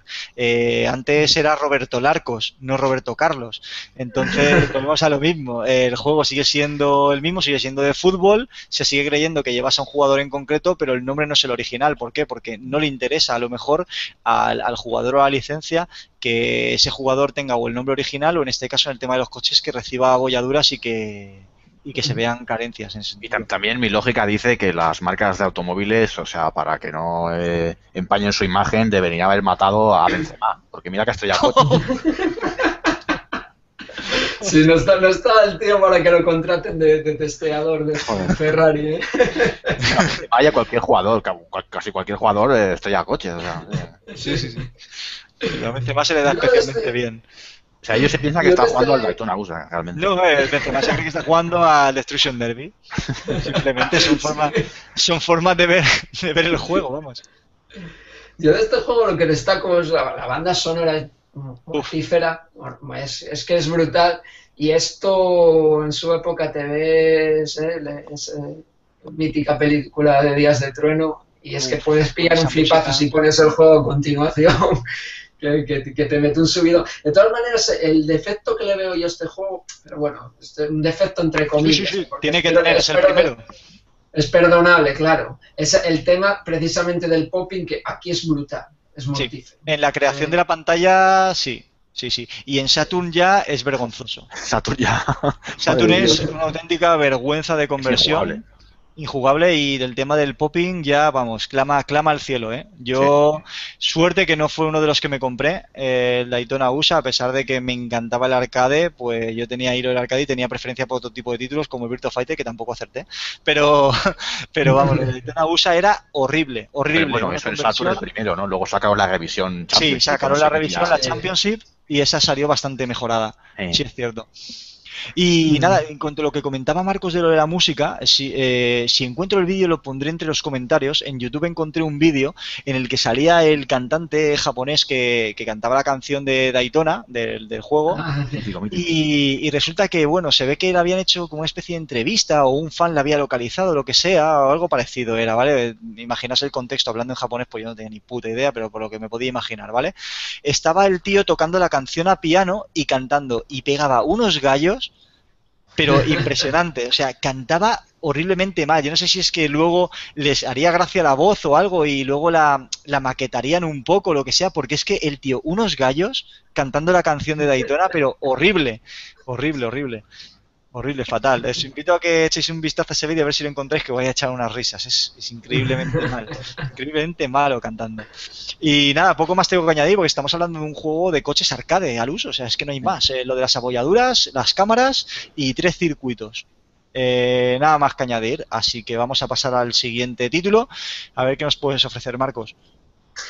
Bueno, ahora voy a cambiar un poco de palo, pero bueno, volveremos, me imagino que volveré sobre el tema de la velocidad, que ya sé, ya dije antes que me gusta mucho, pero quería hablar de un juego que tan, bueno, no, no conocí en la época, evidentemente, porque creo que este, este juego no llegó aquí, ni tampoco su, su primera parte, me estoy refiriendo a Rail Chase, Rail Chase. Rail Chase. Que creo, la primera parte puede ser, me vas a corregir David, System 32 o... no lo sé. ¿Eh? La primera parte de este System 32. Sí, El 1 sí que salió para arcade y creo recordar que era para la placa System 32, que es anterior a Model 1. Incluso compartieron tiempo, pero sí que creo que tiene que ver con la System 32. Yo es un juego que, el, el, Rail Chase, el, primero de todos, bueno, conocí que, ya en la época lógicamente de Mame, y me llamó muchísimo la atención porque estamos ante un título que es como una. Un Operation Wolf. Esto sí que es un, uno, ¿cómo los llaman? Shooter on Rails. ¿eh? Y nunca mejor dicho porque va a ser. más que nunca. On Rails más que nunca, vamos. Efectivamente, va, sobre rails. Tú aquí lo único que tienes que hacer es eh, mover el punto de mira y disparar a todo lo que se mueva, ¿vale? Entonces a mí me gustaba mucho, me gustó mucho cuando descubrí esta, la primera parte y preparando este podcast precisamente digo, hostia, y está la segunda parte aquí en, en Model 2. Y es un juego muy entretenido, muy difícil, tremendamente difícil porque pesa que dices tú, joder, si solo sí, vale, tengo que mover el punto de mira y realmente tiene como autofire, que no hay que andar mm, eh, dándole mucho a la cabeza. Pero pese a eso, salen muchos enemigos en pantalla por muchos sitios y la barra de energía de lo que es el, vagón en el que vamos metidos, cual Indiana Jones, pues no, no para de crecer, no para de crecer y es un juego que tiene bastantes fases y para avanzar eh, con una partida así de, principio no es nada permisivo, ¿vale? Puedes a lo mejor avanzar una, dos fases. Incluso tiene la posibilidad de escoger fases, depende de... Hay veces que te puedes disparar como a, alguna parte de la vía donde hay una flecha y puedes ir por una parte de la vía por otra y eso tiene influencia eh, en un mapa que nos muestra, ¿no? digamos que es una cosa así parecida a un... Es como la. Sí, efectivamente. Es típico de Sega, también pasaba en los Virtual Cop, ¿no? Le dabas un cartelito y vas hacia otra fase. Sí, sí, claro. bueno, mejor dicho. Entonces, esto lo, que hace es realmente incrementar la rejugabilidad en el sentido de decir, pues bueno, pues ahora me lo, a ver si me lo pulo por la otra parte, ¿no? Por otro mm, camino. Y porque, bueno, tiene ese factor de, descubrir fases nuevas que, quizá no hayas visto en, la partida anterior. Eh, me parece un gran arcade, igual que el 1. El 1 eh, a mí me encantó, pero hay que tener en cuenta eso. Es muy, muy, pero que muy difícil. Por lo menos para un tío como yo, que soy, que soy un paquete que confeso y declarado. Pero bueno, está bien por lo menos echarle unas partidillas y es no sé, este es casi que lo podemos tildar ahí de clandestino o qué, porque es un, juego, yo creo que no, que no debió de llegar aquí, más allá de Japón, no creo que haya salido este título. ¿eh? No me atrevería a decirlo porque posiblemente hay algún lado que sí, pero yo sinceramente lo he conocido por emulación este juego ya hace tiempo, pero nunca lo he visto en arcade. El Ray Chase, nunca. Aquí al menos nunca llegó o yo no, la, no he conseguido verla nunca. Yo cada vez que, pienso en el Rail Chase este veo la imagen, ¿no? Me, eh, me viene a la mente, no sé si os acordáis, el, el programa ese que hacía eh, Carmen Sevilla, que salía, eh, que llamabas por teléfono, que había un videojuego que se llamaba Sí, el de Hugo. El de Hugo, el Hugo, el amigo, tío. El amigo Hugo, tío, que se, lo movía el puto amiga, tío. Sí, sí, sí. sí, ocupaba mogollón de discos ese juego, tío. Yo no sé cuántos ocupaba, cuatro o cinco discos, eh, el muy cabrón. Joder, de todas maneras, dejo, yo aquí una, dejo yo aquí una cosa, y por si alguien que, que de programador que curra en esto de los móviles de hoy en día y toda esta mira, movida, acabas este de quitar, juego es acabas 100% de quitar. móvil, ¿eh? Sí. 100%, tío. Pero Este es que el no hay que juego- hacer nada. Montaña rusa de Oculus Rift, tío, la has clavado, macho. O sea, la sensación de cuando te sales del rail, empiezas a flotar en el aire, hasta que vuelves a impactar en la vía, produce una sensación de, de estar flotando de, de realidad virtual bestial. Es verdad que si esto lo reconvirtieran, tendrían un juego ahí eh, muy guay, muy guay, tío, para poder rentabilizar el tema de las Oculus. Es que sería perfecto porque tú imagínate, por ejemplo, o en el caso de, de ya sin Oculus, el caso del móvil móvil Sí. normalmente.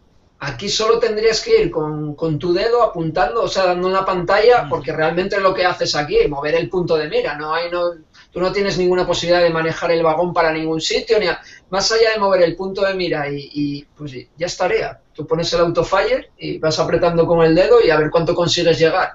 Sería una buena conversión, ¿eh?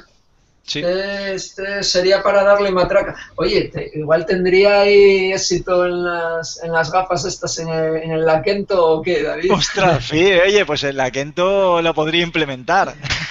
Porque Pues tiene los botones, eh. los botones de acción incorporados. O sea, Habrá que hablar con, con Víctor a ver si se, si se hablar, estira sí. un poco y consigue ahí la licencia. que se deje, que se deje de tanto tiburón y que, y que le dé más rechis. Un saludo a Víctor, a Víctor Ruiz desde aquí, que seguro que nos está escuchando. un saludillo, un saludillo, que se ha portado muy bien con nosotros. Claro que sí, coño. Dynamic Forever. Pues por otro lado, deciros que, que, bueno, que el tema de. A mí me ha impresionado mucho una cosa de este juego, que yo creo que los tres minutos que podéis dedicarle eh, para probarlo simplemente tenéis que hacer, tenéis que pasar por ahí. Hay un momento pendiente bajada que va con la inercia, luego sube, sales flotando, incluso rota la pantalla. Es una sensación de velocidad, de mareo y de estar ahí dentro de, del- del chisme ese bestial. O sea, yo una partida tenéis que echarla a este juego, aunque sea para, para, para sentiros, para ver lo que era la sensación que quería transmitir Sega, que era eh, no solo tridimensional, sino virtual. Porque da la sensación de ahí los nombres de, de, de Virtual Fighter o de, o de, o de Virtua Cop, etcétera, ¿no? Es la sensación virtual. Era lo que ellos querían implementar como lo que era la nueva realidad virtual en aquella época. O sea Hay que, este yo- juego, David, eh, el primero, es que aunque no sea en tres dimensiones y todo lo que Sí, tú quieras, es muy bueno, ¿eh? Sí, Es sí, muy bueno. Oye, os hago una pregunta a vosotros, porque yo soy un ignorante. Y, y es que no me, no me he parado a mirar a ver cómo cojones era el mueble. ¿El mueble de esto era también de mon- montado en algún rollo o estar de pie moviendo? Era, era un mueble con pantalla enorme, gigante, en el que te sentabas, pero no en ningún vehículo, era como de doble asiento, ¿vale? No separado en dos partes, sino en una sola, pero, pero Como longitudinalmente si fuera un, grande, ¿vale? un banco, ¿no? Sí.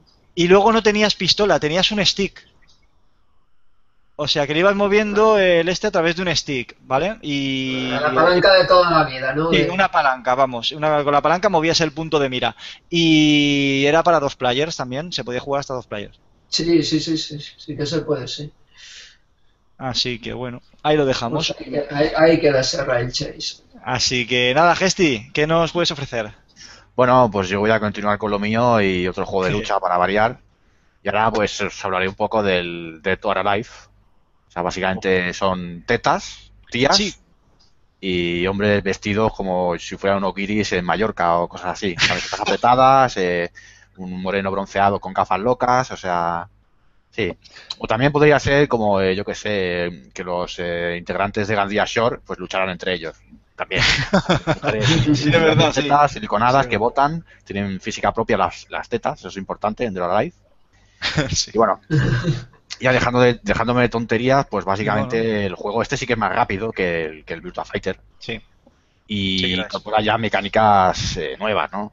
También es puño patada, pero ya la guardia no se hace con un botón como el Virtua Fighter, sino que es eh, como en Street Fighter, ¿no? O sea, atrás. Ah, sí. O sea, eh, marcando la palanca en el lado contrario al que te, que te pega. Y el otro botón que incorpora es la gran novedad o la gran característica de, de, esta saga, ¿no? Que es el contraataque. O sea, tienes que ajustar tu timing, porque cuando te pegan una leche, pues le haces el contraataque y obviamente le contraatacas la palabra y le destrozas ahí. Eh, ya en este no, había ring outs en el, en el juego, simplemente estaba demarcado como una, especie de, campo de minas. O sea, no sé, no sé, dónde coño luchaban esta gente. O sea, no, no sé. en el frente, ahí, en el abismo. O algo. Eh, ¿Qué más? ¿Qué más? básicamente eso, o sea, tetas, tías y, ya está. Y, en vez de ringaos, bombas, o sea, y juego rápido. Está, está muy bien, la verdad. La conversión para Saturn también está muy, está muy bien. Sí, sí.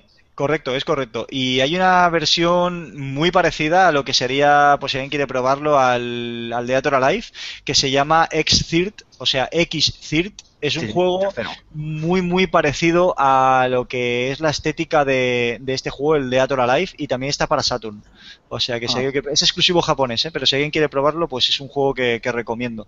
Por otro lado, hacer un apunte a todo esto, os daréis cuenta de que, bueno, mucha gente a lo mejor a, estas alturas dice, pero ¿cómo puede ser si Deator Alive no es de Sega? Deator Alive es de Tecmo. Sí, bueno, es que la placa fue creada por Sega, pero se dio soporte a otro tipo de compañías, como en este caso Tecmo, o como puede ser en el, en el juego de, de Overref a Yaleco. O sea que lo que es la placa fue creada por Sega, pero luego otro, otras third parties podían, podían añadirse al sistema. Así que queda ahí como punte también personal. Gesti, te lanzo un patatón. Eh, pregunta, ¿tú crees, tú crees que Death of eh, si le quitamos el tema de, de las tías buenorras o hubiese triunfado algo. Podemos estar ante el mismo caso que Mortal Kombat si le quitamos la sangre y la polemiquilla esta de los, de los fatalities y tal. Hombre, en Mortal Kombat eh, te hubiera dicho que realmente no hubiera triunfado, porque realmente es un juego de mierda. Lo que pasa es que simplemente, lo que tiene es la sangre, las vísceras y lo escatológico. Qué cabrón, es un juego. La cualidad de, Mortal Kombat es lamentable. O sea, pero ya el de Life vale, tiene tetas y tías, pero no sé, está muy bien. O sea, incorpora el contraataque y es mucho más dinámico y ágil que el. Bueno, ofrece una alternativa a Utah Fighter. Sí. Pues sí. Pues nada, chavales, yo me voy a lanzar un poco a, la piscina, voy a hablar para que no se nos tire esto aquí hasta, hasta las mil horas, ¿vale? Pues voy a hablar de tres juegos muy, muy rápido, así. Eh, juegos de disparos, principalmente. Eh, como pueden ser el Virtua Cop en este caso, el House of the Dead, sí, House of the Dead, impresionante también, y el Gunblade New York. Eh, son juegos parecidos pero diferentes a la vez. En un caso tenemos el Virtua Cop, como ha dicho Gesti, puedes elegir un poco, digamos, digamos tu propia ruta, realiza un zoom, eh, fue novedoso en la época, de el ver cómo realiza un zoom hacia el personaje, va encuadrando el punto de disparo, eso me, impresionó bastante cuando lo vi, y es un juego, pues, ese, la verdad que no lo encuentro difícil, yo no sé si os habréis dado cuenta que Virtua Cop sí que es bastante fácil avanzar, es uno de los juegos posiblemente más sencillos o más asequibles de Model 2, al menos en mi caso, yo lo vi bastante bastante asequible el juego. Eh, lo que son las texturas y eso, quizá no están tan bien rellenadas, entre comillas, eh, dibujadas, eh, se ve todavía ahí cierto aspecto poligonal. También tengamos en cuenta que es la, primera parte de, lo que es la, la, placa model, es de los primeros juegos que salió. Así que bueno. Luego, por otro lado, tenemos el House of the Dead, que es más de lo mismo, pero con zombies. Eh, impresiona muchísimo el hecho de poder descuartizarlos a nivel que va dando disparos. Puede disparar, les va saltando trozos de piel, trozos de brazo, etcétera, y a la vez, pues el tema de la sangre. Eh, tenía novedoso pues que la historia estaba, estaba bien, estaba curiosa y luego por otro lado también teníamos el tema de lo de los inocentes, que podías salvar a inocentes, te daban un tiempo, veías a zombies persiguiendo a personas, entonces eh, se daba un mensaje u otro, dependiendo si eras capaz de matar al zombie que perseguía al personaje o no. Sí. Me parece una, cosa, una cosa en el tema este de, lo, de los inocentes que salían en, en Virtua Fighter, me parece, hay Virtua Fighter, Virtua Cop, me parece recordar que si les disparabas te, penalizaban, pudiera sí, ser. te quitaban directamente, te quitaban directamente la vida. Sí, sí. En, el House of the Dead era al revés, ya eh, lo corrigieron y en vez de, veían que era un factor injusto y si, y si le disparabas, pues creo que no lo matabas o... No, me parece que te daba una vida. te daba una vida, sí, perfectamente. Si te habían dado un impacto, el hecho de salvarle eh, te, daba, te daba un punto de vida más. Pero eh, si lo matabas, no te lo restaba. Simplemente era, era eso. Está bien. Sí, y luego, impresionante ya para, para hablar de juegos de disparos, pero quizá más tapados, vamos a hablar de este Gunblade New York. Es un juego eh, de disparos on-rail, como le gusta decir a Bisarma. On-rail. Ese es que no lo pude catar, tío. Ese no lo pude catar yo. De, no me debía de funcionar o algo. Así que dale, dale, que tengo interés. Hijo mío, hijo mío, espectacular. O sea, vas persiguiendo a través de, me parece que es un helicóptero, ¿vale? O es la sensación que te quieren dar.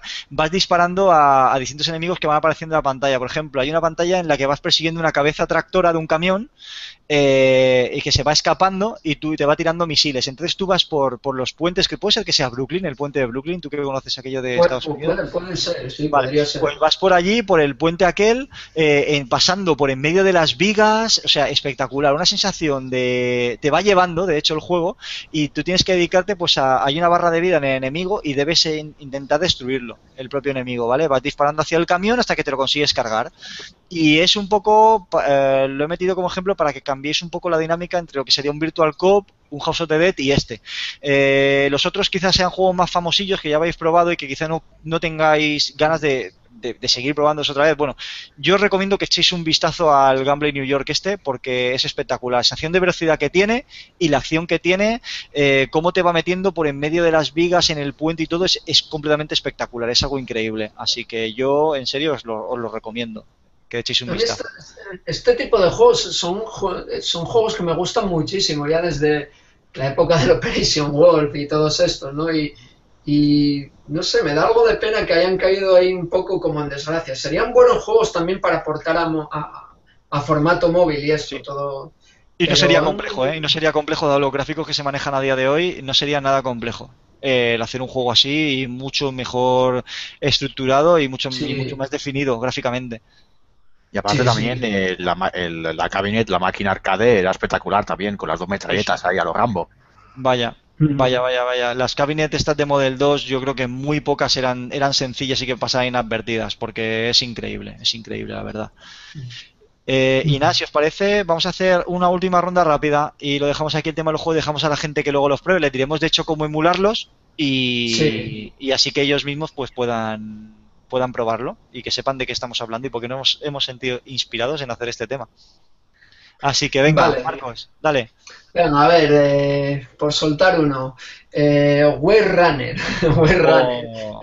es que me gusta mucho el Way Race. Me gusta, mucho el Way Race, pero el Way Race es bastante superior a este. Seamos sinceros, pero es bastante superior. También no sé, no sé de qué año es este, no me doy cuenta ahora de qué año es el Way Runner, pero vamos, el Way Race ya sabéis que es de primera jornada de, Nintendo 64, pero claro, la física de las olas y todo eso, esto no lo tiene. Pero aún así, aún así, me pareció un juego muy bueno de, carreras de, de, motos de agua. Es un web race. Al fin y al cabo, ahí te persiguen los delfines y todo el rollo. Es, estamos ante un web race en toda regla, ¿vale? Y me pareció muy guapo, me pareció muy guapo. Más que nada porque ya digo que a mí me gusta mucho el otro y, le metí mucha matraca en su día y, le sigo metiendo bastante matraca hoy en día a través también de emulación porque ya no tengo la, la Nintendo 64 conmigo. Y no sé, un juego, bueno, yo creo que recomendado, ¿eh? Recomendado. Bueno, se sale un poco de la, no de la tónica, bueno, sigue siendo un juego de carreras como cualquier otro que no hay, en el que no hay que estudiar nada.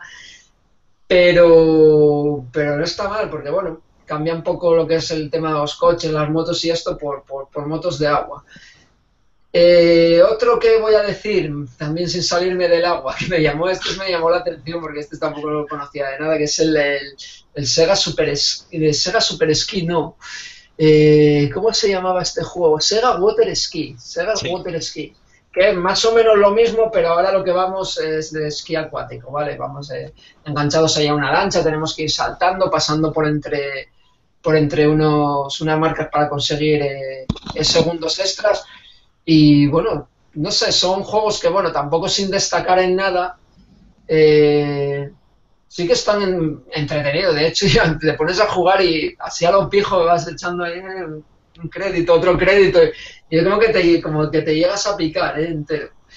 Y ya por último, y ya lo dejo aquí, quería destacar un juego que, bueno, este quizá no, no, no está al nivel de no está al nivel de lo que es la, la placa. La, placa en sí los, y los juegos que vemos. Pero bueno, es un, juego de naves, un... Oh, me la este Te lo quité, querías, querías decir, bueno, si no te lo dejo para No, no, es que llama, llamó muchísimo la atención por el tema de ver un shooter de naves en, en una placa como esta. Pero coméntalo, coméntalo, tengo ganas. Eh, me estoy refiriendo al Pilot Kits, ¿vale? Correcto. De, de Siki o Siki o como cojones se pronuncia. Bueno, esto es un juego, digo que no está, puede que no esté a la altura, ¿verdad? estamos viendo juegos como Daytona, como todos estos, que eh, los Virtua Fighters y demás, que tienen un nivel, digamos, tecnológico brutal. Aquí sí que están los enemigos y todo en 3D y los, y los fondos, pero es un tanto extrañete en el sentido de que vamos manejando como un avión con un niño ahí montado dentro por dentro de una casa rollo, no sé, ¿qué podemos decir? Micro Machines o, sí, algo así. Es como si tú fueras una, una, miniatura, como si te hubiesen hecho en plan cariño encogido a los niños.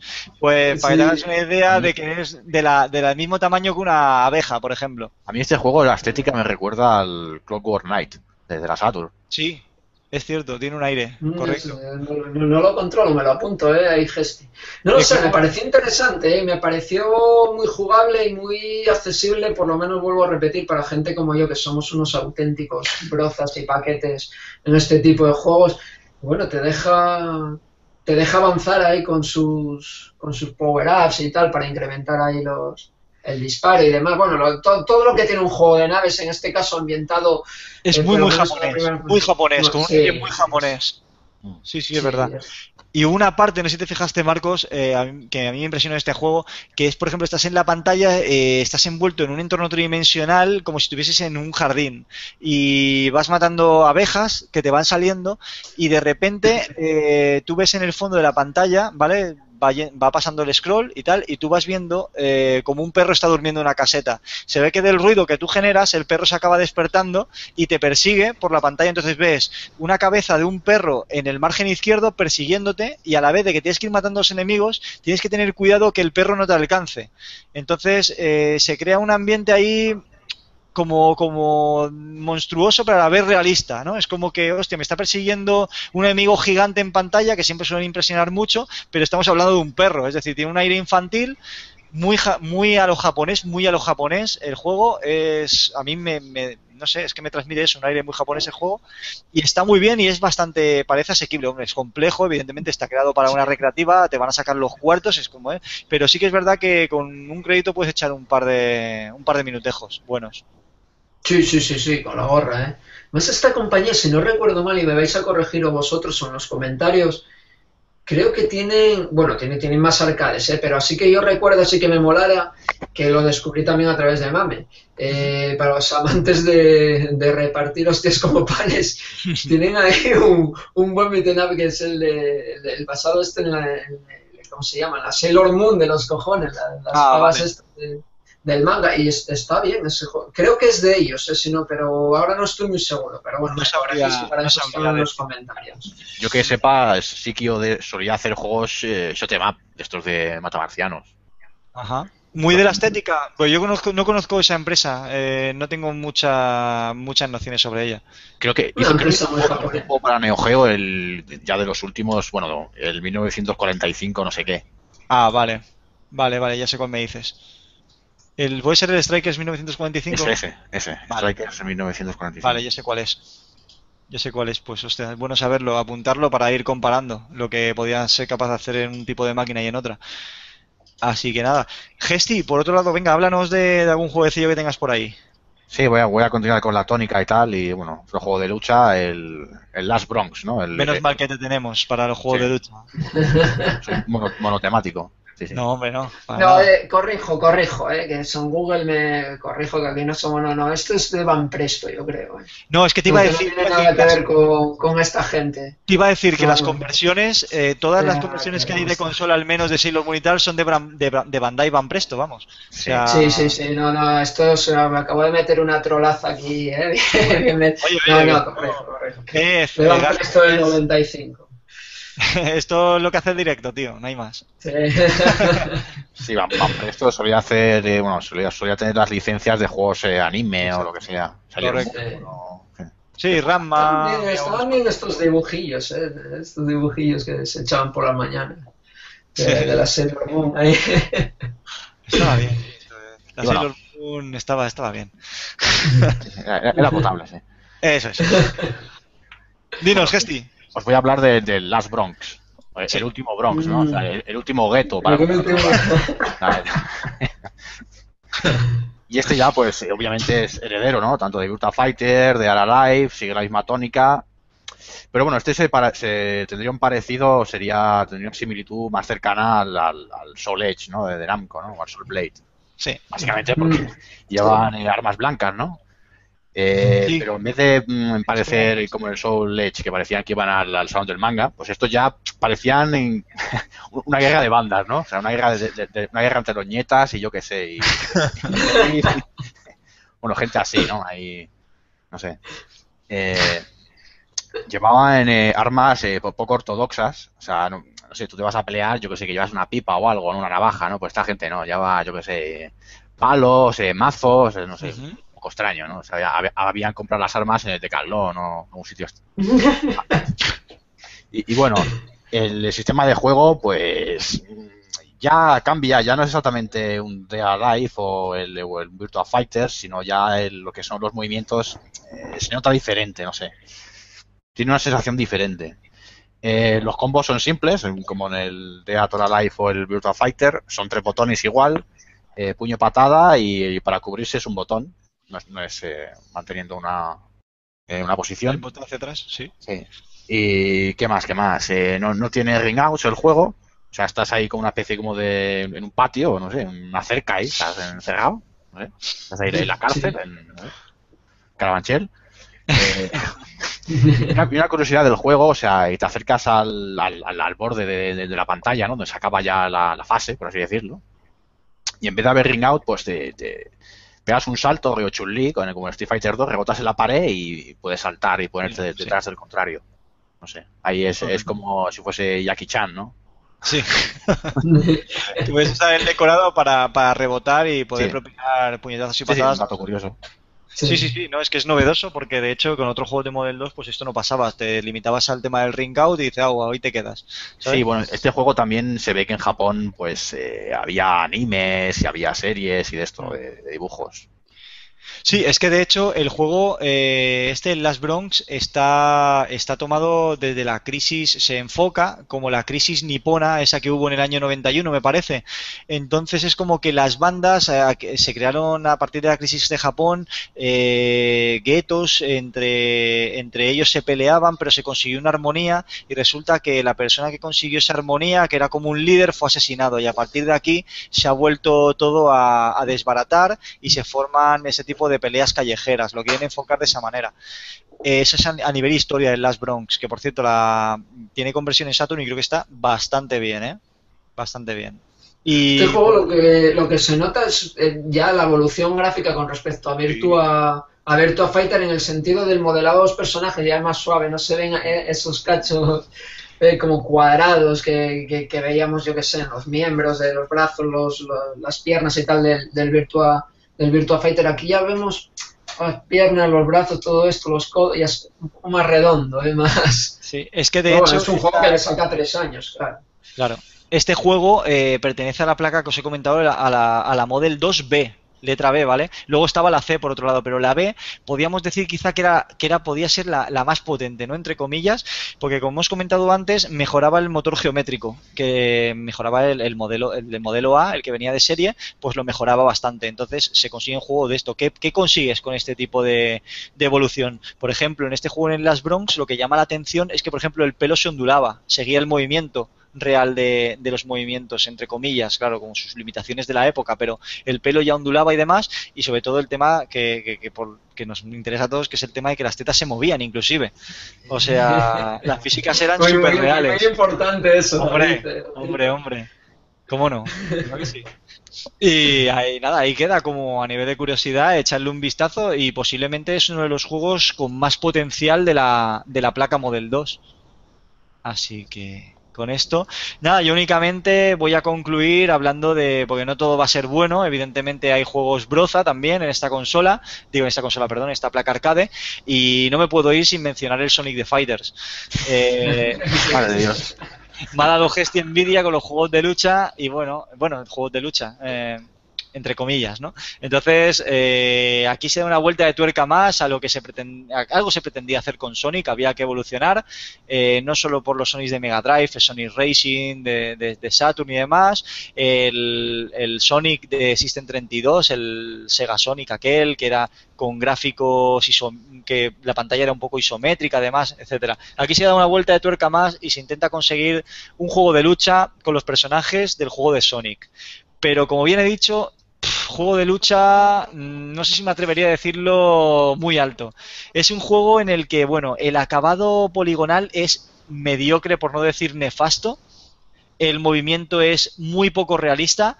Eh, da la sensación de que los jugadores, o sea, no se pegan, parece que se dan golpes con el pecho. O sea, es muy.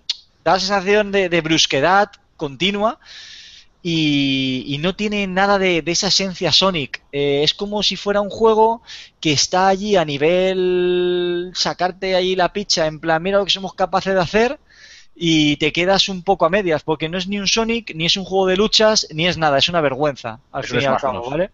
Es un Smash Bros. Correcto, tú lo has dicho. Es un, no, es, es, lo que yo más a este juego es ahí como un poco, no sé, como limitado, como que estás ahí dando Aquí sí que parece que estás dando hostias a lo tolón ahí, a lo... Sí, lo que te digo, parece que, que en vez de dar puñetazos parece que das golpes con el pecho. El tío además va perdiendo monedas en la pantalla, es eh, es un quiero y no puedo. Es un Sonic con lucha, pero sin lucha, pero sin Sonic. En fin, el, nivel de realismo del juego de la, del impacto de las hostias es igual que el, de la WWA, ¿no? Más o menos. Es, igual, es igual de realista. Y date cuenta, estamos hablando de la misma placa eh, de la evolución de la Model 2, eh, la misma del Fighting Vipers y del Last Bronx. Estamos hablando de la 2B, que en teoría es una placa implementada, y yo no sé si esto sería en plan prueba o beta o algo por el estilo porque no se corresponde con la realidad de lo que de lo que son los otros juegos que hemos mencionado de lucha ni mucho menos. A mí este juego en cierta medida obviamente es muchísimo más malo, me recuerda al, al Virtua Fighter Kids, no sé, así cabezones. Pero el Virtua Fighter Kids al lado de esto es un muy buen juego. ¿eh? Pero vamos, es que es horrible. Las físicas es de lo peor que he visto en mucho tiempo. En gráficos. me da miedo, ¿eh? O sea, cómo gesticulan la cara, tío. Parece que vayan. Eh, Parece que van, van a ir de psicotrópicos, tío. El, Joder. es muy chungo, tío. Es muy chungo, muy chungo, de verdad. Parece que el Sonic te va a rajar o algo en vez de, no sé. Es muy, muy chungo, muy chungo, la verdad. Sí, yo estoy por decirlo, oye, Sonic, tío, ¿quieres un vaso de agua o algo? Te tira boca seca. Y nada, tío, pues con esto yo creo que hemos acabado un poquito la ristra de juego porque se nos van a hacer aquí, vamos, la, las 12 de la noche con la tontería. Sí, bueno, hay mucho más, pero la gente que explore también, bueno, no, hemos hablado de Sega Rallies, de rollos así, pero bueno. Sega Rally, bueno, es, es, muy obvio. Es con, yo me he lanzado antes con el Daytona USA, podía haber hablado de los dos porque son los dos juegos insignia, digamos, entre comillas, son los dos eh, que siempre están en los salones recreativos en las que sigue habiendo máquinas. Entonces, pues, por eso he preferido quizá obviar el Sega Rally, que por cierto tenéis una conversión en Saturn estupenda del juego, ¿vale? Si podéis emularla en, en Model 2, perfecto. Si no, pues tenéis una versión ahí para Saturn espectacular. Eh, si os parece, vamos a hablar un poco de qué debe hacer la gente. ¿Queréis añadir alguna cosa al respecto o pasamos a otro tema? No, no, no, podemos, podemos avanzar si quieres. Ya que la gente, yo lo que recomiendo siempre, da igual lo que digamos aquí, que la gente pruebe que, que además hoy en día hay 20.000 posibilidades de probar todos estos juegos y de una de ellas hablaremos hablaremos ahora me imagino a continuación ¿no? Sí, sí, sí, de hecho justo lo que vamos a hablar eh, el tema de la emulación siempre en todos los fanboy podcasts intentamos explicar un poco dónde conseguir todo de lo que estamos hablando para que podáis probarlo vosotros mismos. Al fin y al cabo son opiniones nuestras el tema de los juegos así que vosotros mismos tenéis que sacar vuestras conclusiones. Sin embargo os estoy hablando de, de una máquina potente potente de verdad vais a vais a flipar. Mira yo el emulador que uso para, para mover el Model 2 es el Nebula.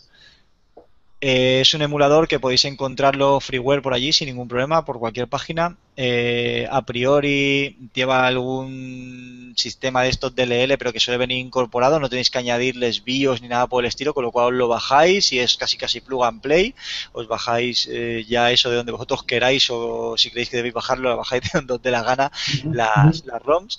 Y, y, nada, y allí a disfrutar, a disfrutar porque yo de hecho he llegado a jugar con este emulador, permite un mogollón de cosas. Entre ellas yo he enchufado el volante de la, de la Xbox 360 y he conseguido jugar al Daytona USA y al Sega Rally con el volante de la Xbox 360 con una respuesta impresionante, incluso con la vibración adaptada. O sea, impresionante. Mm. Impresionante. Yo los juegos de coche, si tenéis un volante por ahí de Xbox en el trastero, porque no creo que le deis mucho uso, eh, probadlo con esto y vais a vivir una experiencia casi casi como si fuera la, propia recreativa, porque el emulador es perfecto, está casi casi al 100%, puede fallar quizá un juego, Marcos, sé que te dio problema uno. Sí, de Light, pero bueno, eh, a ver, quizá, aquí tengo que hacer una aclaración, ¿vale? Para, para la gente que tenga, eh, que tire como yo de MacOS X, eh, pues este emulador lo podéis emular, la redundancia, lo podéis hacer funcionar a través de WinSkin, ¿vale? Aquí en el canal tenéis un tutorial de qué de qué es esto de, de, WinSkin y cómo, y cómo se usa, ¿vale? Eh, ¿Qué quiere decir esto con el WinSkin? Que, vale, a priori no tendríais que ni tirar de Windows a través de CAN ni de Windows a través de ningún programa de virtualización, llámese Parallels, VMware o, o el que queráis usar, ¿vale? VirtualBox o lo que sea. Sino que, usando WinSkin, pues eh, podéis perfectamente ejecutar esto con, con un clic. Es un doble clic, como si fuera cualquier aplicación nativa de macOS X, y os va a funcionar perfectamente el emulador. Pero es verdad que Death or Alive, no sé si a lo mejor por el tema del WinSkin o, yo, qué sé por qué, porque lo pillé de, de malas eh, el otro día, no me, sí, que me, sí que me cargaba, pero me cargaba con los gráficos guarretes, como que cargaba mal las texturas y los fondos y todo esto, como que salían gráficos corruptos, ¿no? Que se suele llamar. Entonces, pero yo creo que fue el único ese y no conseguí ver ese que dices tú del helicóptero de, de Marras que comentaste antes de tiros. creo que deben ser los únicos dos así que no me que no me funcionaron. Los otros funcionan perfectamente sin ningún tipo de fallo gráfico ni ningún tipo de, de fallos en el sonido ni, ni, nada por el estilo, ¿vale? Eh, si tenéis MacOS X, si queréis no queréis complicaros la vida con, con virtualizaciones, bootcamps y demás, eh, con WinSkin esto os funciona a, la perfección, igual que funciona eh, eh, el MAME o, cualquier otro emulador. Pues sí, muy bien explicado porque así abrimos todas las posibilidades para gente que tenga sistema Windows o sistema MacOS, así que así tenéis las alternativas, ya sabéis cuáles son. Y nada, por último, lo que siempre comento es, eh, en todos los Fanboy Podcast, es cómo adquirir el producto del que estamos hablando, el real. estamos hablando de que, bueno, la, así rápidamente podemos estar hablando de que una máquina de una sola, de un solo asiento de Daytona USA se puede estar moviendo en el mercado en torno a los 1.000, 1.500 euros, dependiendo del estado que tenga la, la máquina. Eh, y luego, si lo que queréis es tener la, la, placa original, la Model 2, es de una estructura muy parecida a las Hamma, no es en plan un slot así chulísimo como puede ser el de CPS2, es una, una, placa arcade al uso, como si fuera una placa, una placa madre, sin más, ¿vale? Están moviéndose, en este caso, por ejemplo, la de Sega Rally, que es una que, es digamos que la más vendida y tal, y que por asequible eh, debe ser más fácil de encontrar, estamos hablando de 350 euros, o sea que no es para nada, no es para nada barata. Y dicho esto, pues quien quiera, ahí queda. Yo, uno de los sueños de mi vida, como os he dicho, es tener la, la cabinet original del, del, este, del Daytona USA, y espero pues tenerla alguna vez. Si alguna vez la tengo, pues tranquilo que vendré a compartirla con vosotros. ya, eso tiene que ser un paso. Bueno, de todas maneras, a ver, eh, sin dar a las, a, las, a la especulación aquí, David. Hombre, teniendo en cuenta el precio original, original en la, en la época de estos muebles, si me dices mil pavos, mil quinientos pavos, tampoco es la mayor columpiada del mundo, ¿no? Viendo lo que costa, te podía costar aquello en, su época. De hecho, yo vi hace poco una en Italia, en eBay Italia, que la estaban vendiendo por 850 euros. Eh, lo que, claro, los gastos de envío, pues son inaccesibles en este caso, ¿sabes? Es que tú lo ves a lo mejor lo que cuesta un, es un juego de Neo Geo, tío, y... Sí. aparte, si estamos hablando de un mueble entero... Sí, o las arcades que se hacen hoy día con emulación interior y tal, los precios se están moviendo por esos márgenes. Y estamos hablando en este caso de una máquina original.